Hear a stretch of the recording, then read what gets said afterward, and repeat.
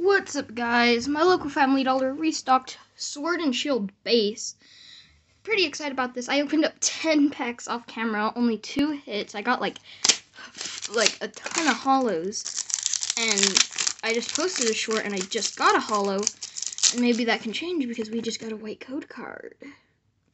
One, two, three, four. Let's see what we can pull. Polka Kid. Air Balloon. Galvantula, Rosalita, Munna, Vulpix, Minchow, Soul Cobra, Reverse Krabby. That's literally one of the other hits I just got. So Sable Sableye, not big because I already have, that's my third one. So not too, too excited about that one. Since I already have three of them. So, yeah, that code card doesn't want to come out. There it is. One, two, three, four. Let's see what we can do.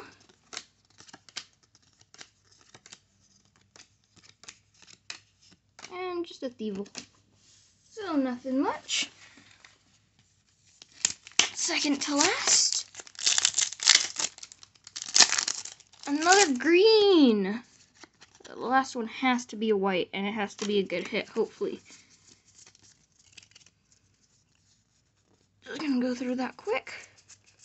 So technically opening up a tin of just Sword and Shield base. Come on. Last pack magic. We gotta do it. Last pack magic. Come on. And it's a green. Oh, and I spoiled that. But yeah, it's just a green. So last pack magic, not a thing, but it was first pack magic. So, nothing much.